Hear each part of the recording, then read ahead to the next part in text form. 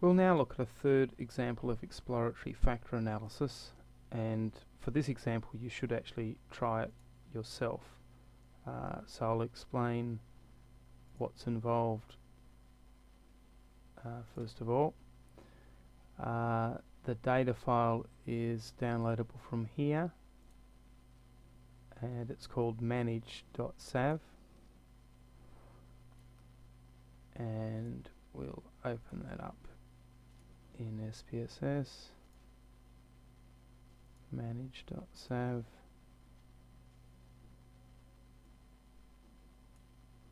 alright so this questionnaire consists of 11 questions.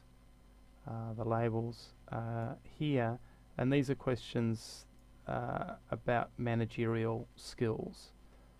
So these are questions that have been asked to managers and you can see that they would respond uh, according to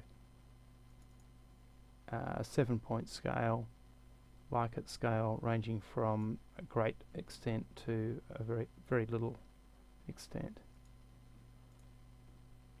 And the questions where I show confidence in my staff, I let them know they're doing well, I give feedback on how they're working, I personally compliment them if they do outstanding work, believe in setting goals and achieving them, etc. Okay, so the question is, are there some underlying dimensions of managerial skills which summarize the variance in uh, people's responses to these items? So we'll um, go to analyze dimension reduction factor Control A to put all these variables in.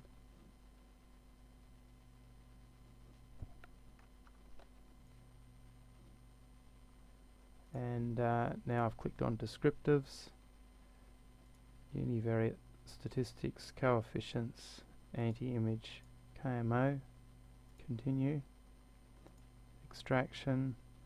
Um, for these managerial behaviors I'll use principal axis because I'm just looking at the underlying factor structure not uh, at this stage trying to develop a model for computing composite scores. The scree plot will just run with uh, factors over 1 at this stage. Rotation, mm, these managerial behaviors may well be correlated. Options, sort by size, suppress loadings below 0.2, paste, go to my syntax and run. Now you should actually have a go at this one yourself first, see how you go and um, then uh, come back and look at these results with me. Um, so we see that the scores range between, they should range between 1 and 7 so most of them are uh, towards people doing them to a great extent, one, because uh, they're lower scores.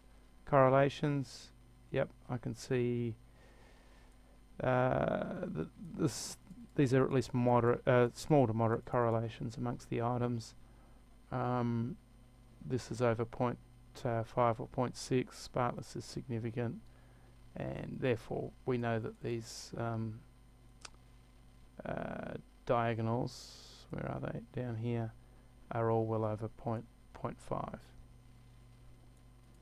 Communalities, um, there's some items that have dropped below 0.5, so it may not be the world's uh, best factor solution, but they're all over 0.4. Three factors with eigenvalues above 1, looks like there's a drop um, between 3 and 4, so three factors or maybe two factors could work. One, two, hmm, yeah, I'll be looking at two and three factors, I would say.